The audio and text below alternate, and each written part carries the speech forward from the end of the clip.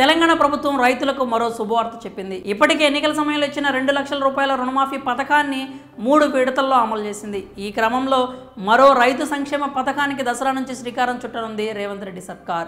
రైతులు ఎప్పటి నుంచో ఎదురు చూస్తున్న రైతు భరోసా పథకాన్ని దసరా రోజున ప్రారంభించి అదే రోజున రైతుల ఖాతాల్లో డబ్బులు జమ చేయాలని భావిస్తోంది.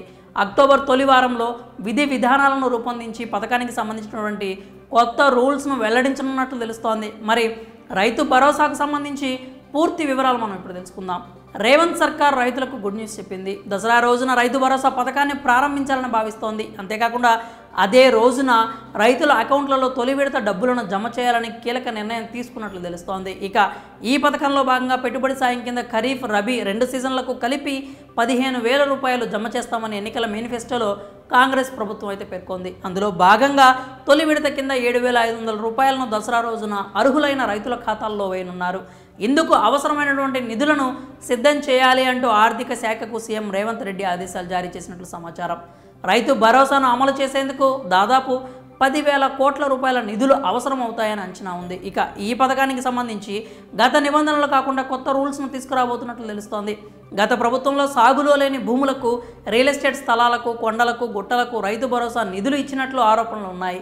ఈ నేపథ్యంలో అలాంటి వాటికి చెక్ పెడుతూ ఈసారి కొత్త రూల్స్ను తీసుకురాబోతోందట రేవంత్ సర్కార్.